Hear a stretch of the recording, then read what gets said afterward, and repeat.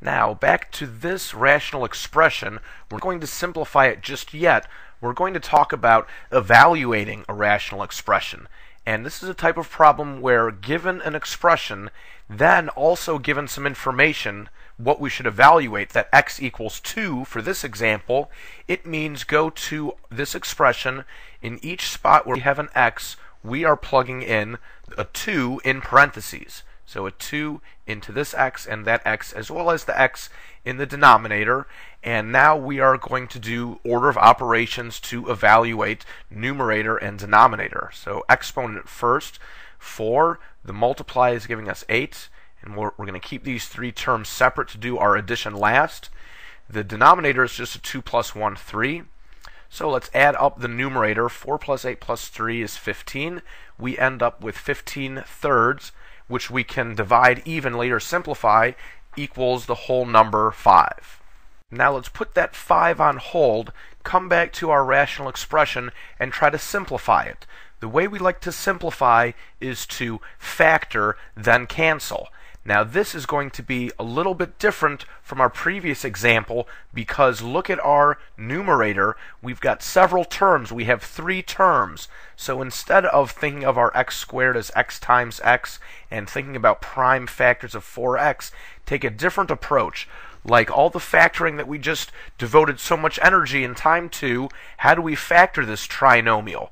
three terms where our leading coefficient is 1. We don't see that coefficient, so we know it's 1. And that's when we would look for a pair of numbers multiplied together would equal the last number 3. Added together, they'll equal the middle coefficient 4. And we factor the numerator as x plus 3 times x plus 1.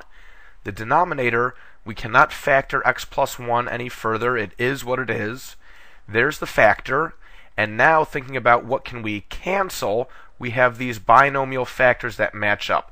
x plus 1 in the numerator with x plus 1 in the denominator, those are canceled, and our simplified answer is x plus 3. Okay, what can we try to do with all the information that we have here? We have shown so far that if x equals 2, we can plug it into our expression, evaluate it, and it equals 5. But what if we don't plug into this expression, but we simplify the expression first? Now we plug the 2 in place of this x, and it equals the same 5. There are even a couple other interesting things we can observe.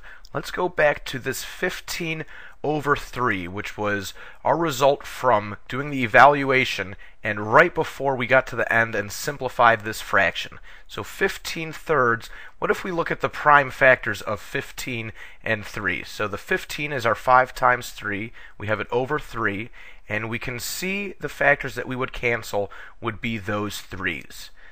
Now, compare this scene right here to this scene right here. We can see that we did very similar canceling and we had one term left over, one factor left over from the numerator. Now, remember, x is 2. If x is 2, then the one that did not get canceled was the 2 plus 3, the 5. And the ones that did get canceled were the x plus 1. If x is 2, that's going to be 2 plus 1, 3 right there, and another 2 plus 1. And that's exactly the numbers that we canceled, 3's. So my point with this example is that as we go further with rational expressions, we can get a bit lost in what it really means, working with all these variables and factoring x squared plus 4x plus 3 into x plus 3 times x plus 1. And I just want you to remember that these are all still representing numbers. We know that x represents some number that is unknown, and so x plus 3 is another unknown number. It's, it's 3 more than x. And just remember that all the steps that we are doing, they work with actual numbers, and that is really what is at the heart of all of these steps that we're doing. Operations on numbers, just ways that we can extend it to numbers that are still unknown. I want to look at this same idea with a few more examples, just to illustrate the point a little bit more. So it's our same rational expression, x squared plus 4x plus 3 over x plus 1. The way we would simplify it would be to do the factoring first. There's our numerator factored. The denominator we could not factor.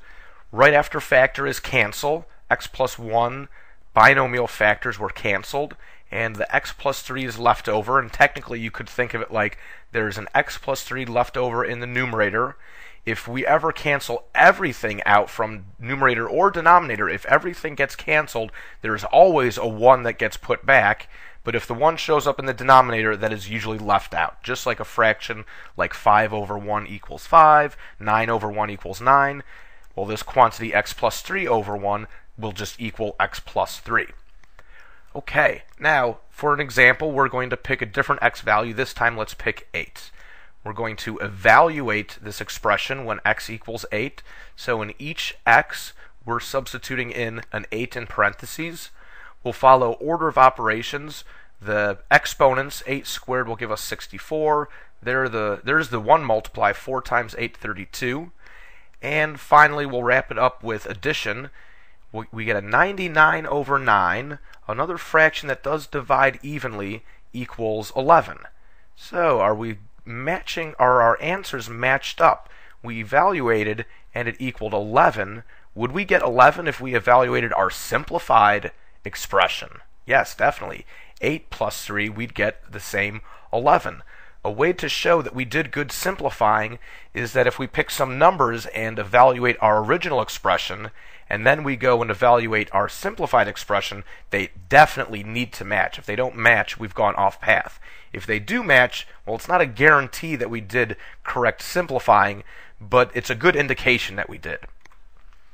Let's take it a step further and compare this 99 over 9 if I wanted to try to simplify it, one thing I could do would be break this 99 up into 11 times 9, and I'm leaving the denominator as the 9. I'm not going for all prime to illustrate this point. Um, the 9's cancel, and what did we see with this rational expression when we did our canceling? There are the terms, the factors that we canceled, x plus 1 is another x plus 1 matches up with those 9s that we cancel, and they definitely match up if you think about well, for our example, we used x equals 8. There's 8 plus 1 equals 9, and another 8 plus 1 equals 9, the ones that were canceled. The 11 is what was left over, and check out this binomial factor, x plus 3. If that's 8 plus 3, that gives us the 11. Now, this line right here, once we put in x equals 8, we're working with numbers only, and it's not as useful as being able to work with these polynomials with an x still in the picture. So it's very useful to know about all the algebra we can do with these polynomials with a variable still in the picture. It's much more useful than just showing time after time, oh, this works with x equals 8. It also works with x equals 2. Using just the variables and then factor and cancel, we have a way to show that it's going to work with almost every real number.